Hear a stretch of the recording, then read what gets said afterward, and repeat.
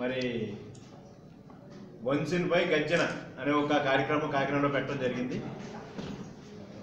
మరి వంశం వంశం చేసిన వాడు ఎవరో అర్థం కాదు కానీ ఈవేళ ఆంధ్రప్రదేశ్కి రాష్ట్ర విడిపోయిన చేత చంద్రబాబు నాయుడు గారు ఈ రాష్ట్ర అభివృద్ధి కానీ రాజధాని నిర్మాణం కానీ ప్రాజెక్ట్ నిర్మాణం కానీ అలాగే కులాల సంక్షేమం కానీ గ్రామీణ అభివృద్ధి కానీ పట్టణ అభివృద్ధి కానీ అన్ని అన్ని రంగాల్లోనూ కూడా ముందుకెళ్తాం జరుగుతుంది.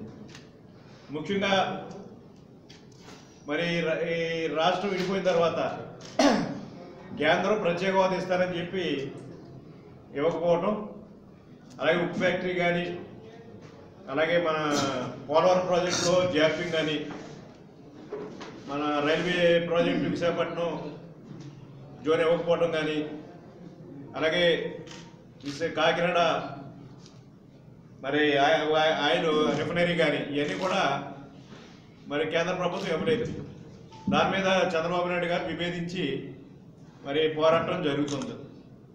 మరి ఆ రోజు చంద్రబాబు నాయుడు గారు అయితే అవిశ్వాస తీర్మానం కూడా పెట్టి వేళ పార్లమెంట్లో పెట్టడం జరిగింది.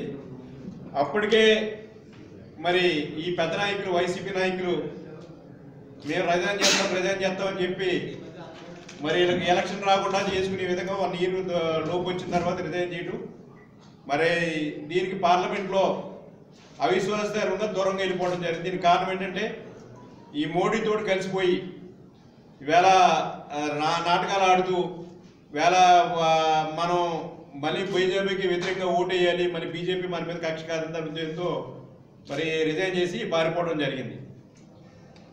అలాగే ఇలా పాదయాత్ర చేస్తూ రా దేశం రాష్ట్రంతో కూడా తిరుగుతూ ఎక్కడా కూడా చంద్ర ఎక్కడా కూడా బీజేపీ మీద మాట్లాడే పరిస్థితి జగన్ గారికి లేదు.